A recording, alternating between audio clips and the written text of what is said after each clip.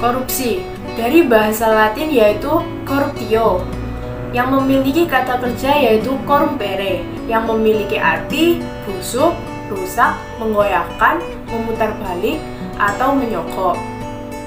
Menurut Undang-Undang Nomor 31 Tahun 1999, korupsi adalah tindakan setiap orang yang secara melawan hukum melakukan perbuatan memperkaya diri sendiri atau orang lain atau suatu korporasi yang dapat merugikan keuangan negara atau perekonomian negara.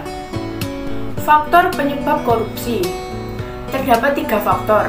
Yang pertama merupakan faktor umum, yang kedua faktor internal, lalu yang ketiga faktor eksternal. Faktor umum dibagi menjadi empat. Yang pertama adalah faktor politik, kedua faktor hukum, ketiga faktor ekonomi, dan keempat, faktor organisasi.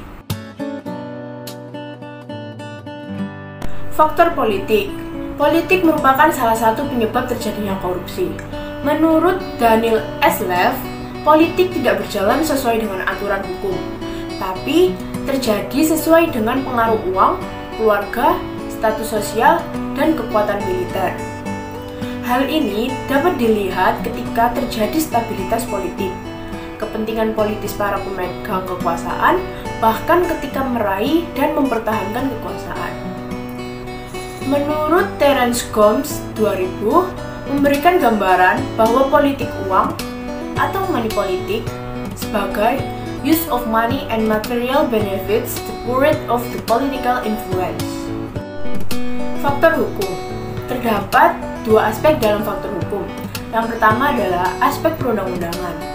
Hal ini bisa meliputi aturan yang diskriminatif dan tidak adil, rumusan yang tidak jelas tegas atau non-lex serta, sehingga multitafsir, kontradiksi, dan overlapping dengan peraturan lain, baik yang sederajat maupun yang lebih tinggi. Yang kedua adalah lemahnya penegakan hukum. Praktik penegakan hukum juga masih dililit berbagai permasalahan yang menjauhkan hukum dari tujuannya.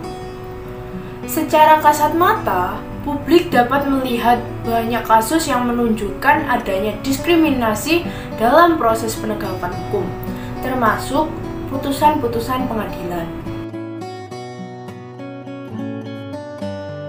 Yang pertama yaitu dari faktor ekonomi. Salah satu yang sering kita jumpai sebagai faktor penyebab korupsi dalam bidang ekonomi yaitu kurangnya gaji para pegawai. Kurangnya gaji para pegawai ini menyebabkan kebutuhan pokok yang harusnya terpenuhi itu nggak terpenuhi, yang kemudian mengakibatkan um, tindak korupsi untuk memenuhi kebutuhan mereka.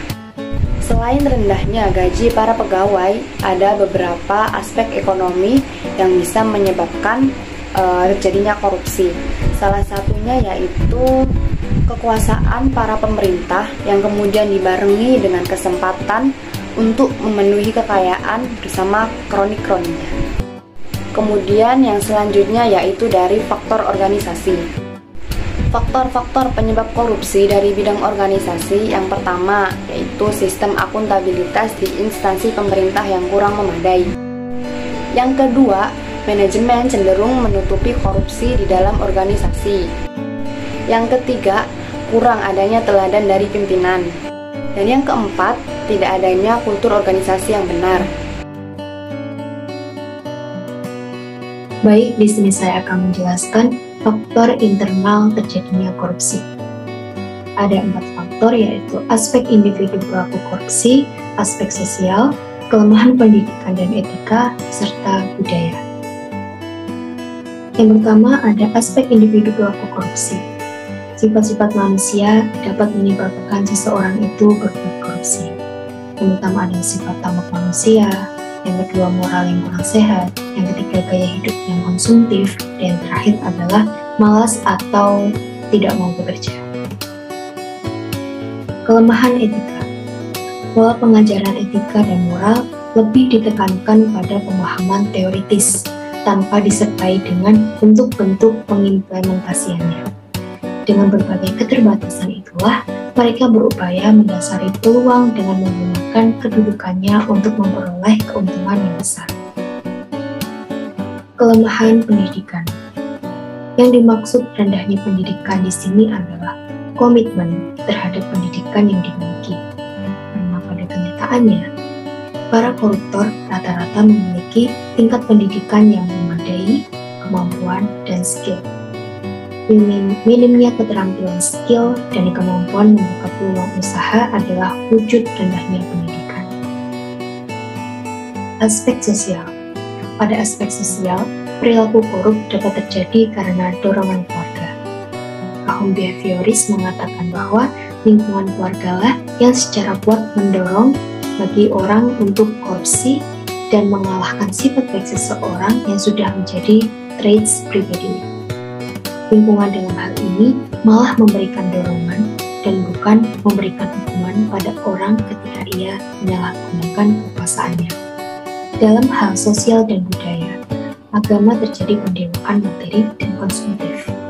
Hal itu terwujud dalam tindakan korupsi. Yang pertama, krisis ekonomi membalikkan situasi yang semula penduduk miskin sudah dapat dikurangi dan pendapatan per kapita dapat ditingkatkan. Kondisi kehidupan sosial ekonomi rakyat memprihatinkan.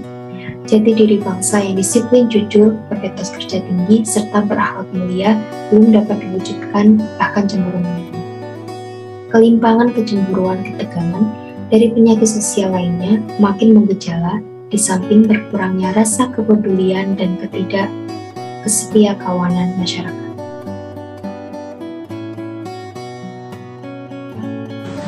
Nah, faktor eksternal sendiri terbagi menjadi beberapa aspek, yaitu aspek sikap masyarakat terhadap korupsi, aspek ekonomi, aspek politik, dan aspek organisasi. Aspek sikap masyarakat terhadap korupsi pada umumnya, jajaran manajemen selalu menutupi tindak korupsi yang dilakukan oleh segelintir oknum dalam organisasi. Akibat sifat tertutup ini, pelanggaran korupsi justru terus berjalan dengan berbagai bentuk. Oleh karena itu, sikap masyarakat yang berpotensi menyuburkan tindak korupsi terjadi karena satu, Nilai-nilai di masyarakat kondusif untuk terjadinya korupsi Dua, masyarakat kurang menyadari bahwa korban utama korupsi adalah masyarakat itu sendiri Tiga, masyarakat kurang menyadari bila dirinya terlibat korupsi dan yang keempat, masyarakat kurang menyadari bahwa korupsi akan bisa dicegah dan diberantas bila masyarakat ikut aktif dalam agenda pencegahan dan pemberantasan. Pada aspek ekonomi, yaitu pendapatan tidak mencukupi kebutuhan. Aspek politis, menurut Raharjo pada tahun 1983 bahwa kontrol sosial adalah suatu proses yang dilakukan untuk mempengaruhi orang-orang agar bertingkah laku sesuai dengan harapan masyarakat aspek organisasi yaitu satu kurang adanya sikap keteladanan pimpinan, dua tidak adanya kultur organisasi yang benar, tiga kurang memadainya sistem akuntabilitas, keempat kelemahan sistem pengendalian manajemen, dan yang kelima lemahnya pengawasan.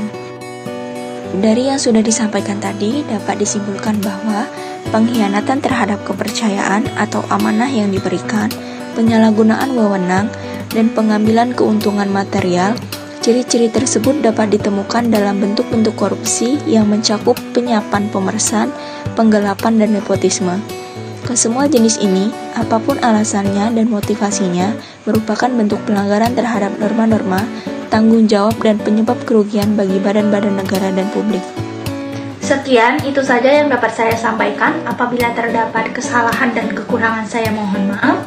Saya akhiri wassalamualaikum warahmatullahi wabarakatuh. Terima kasih.